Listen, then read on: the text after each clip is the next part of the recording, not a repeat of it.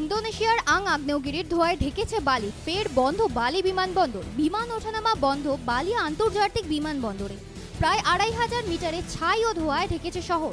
বিমানবন্দরে আটকে পঁচাত্তর হাজার যাত্রী। বালি বিমানবন্দর সূত্রে খবর, কমপক্ষে চারশো পঞ্চাশটি আন্তর্জাতিক বিমান বাতিল হয়েছে।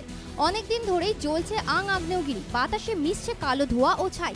আগ্নেয়গিরির জেরে সবচেয়ে ক্ষতিগ্রস্ত ইন্দোনেশিয়ার জাভা বালি বিমানবন্দরের অন্দরও ধোঁয়ায় ঢাকা পড়েছে। আগ্নেয়গিরি বিষয়ক উপদেষ্টা কেন্দ্র অস্ট্রেলিয়ার ডারউইন থেকে জানা গেছে, এই ধোঁয়া প্রাণনাশক, তাই হাই অ্যালার্ট জারি করা উচিত ইন্দোনেশিয়ার।